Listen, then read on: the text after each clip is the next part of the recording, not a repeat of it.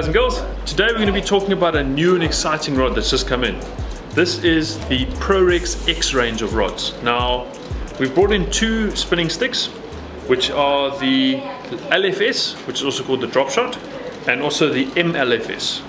Now, the LFS is a 5 to 21 gram, and it's got a very, very light action. Quite, uh, they're both quite a fast action, a lot of tip action. Obviously, the LFS being the lighter stick has got a softer tip. So for your ultralight applications, this, in my opinion, is one of the finest little sticks that has ever been made for fishing those little poppers and stuff like that in the bay and in estuaries and stuff like that, as well as fishing your ultralight for bass. So if you're fishing little Ned rigs, um, little Neko rigs and things like that for bass, this is phenomenal. Um, one of our guys from our Ballito shop, Jesse, everyone knows him, he's been doing absolute sin with this thing with the bass. He is nailing it on that. But anyway, we have, if we're gonna break, let's, let's break it down. So they're both two piece sticks. They're both seven foot in length. Let's just use this guy, yeah.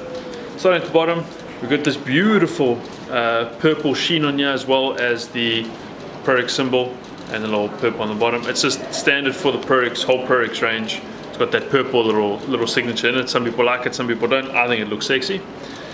You've got X45 graphite. Now, the same as the tournament there, instead of having your normal mandrel where everything folds and you get a spine that goes down the middle, this X45 is 45 degree carbon fiber wrapped all the way around. So you don't get torsion or any sort of uh, twist in the blank itself.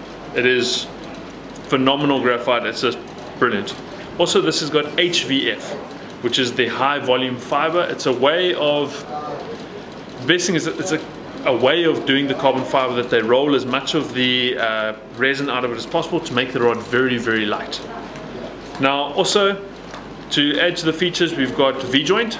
So that's in this, uh, the little joint sections of the rod. It allows them to bend evenly with the rod. So instead of having your bend and then a flat spot where you normally have the joint, this has got V-joint in it, so you get that through bend the whole way along like that. So it's just perfect. As you mentioned, this would be more for the, the light tackle stuff.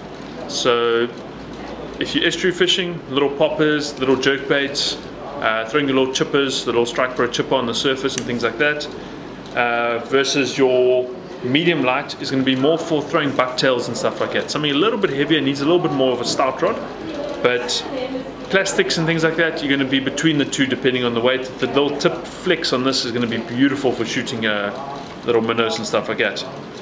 To add to this, we've got Fuji K-series guides, and it's also got a new insert, it's called Fazlite, that goes into there. Look it up, very, very cool stuff. And yeah, guys, that's the little Prorex range of, of uh, rods from Daiwa. They should be at every store at the moment. They've just come in, so go look at your closest fishing shop or pop into any of the Kingfisher branches. We've got a limited stock of these so make sure you get in quickly if you're into that ultralight spinning either in the estuary or for bass and uh, you'd be surprised the size of the fish that you can catch on this thing. It's not I say ultralight it's just in terms of the lures it's not in terms of the fish. So yeah the Pro range of sticks. Cheers